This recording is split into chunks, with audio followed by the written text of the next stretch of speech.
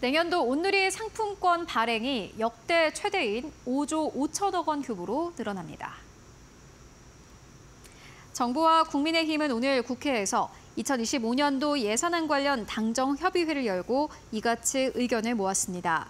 전통시장에서 쓸 수 있는 온누리 상품권 발행 규모를 5조 5천억 원까지 늘리고 가맹 제한 업종을 현행 40종에서 28종으로 줄여 사용처를 확대합니다.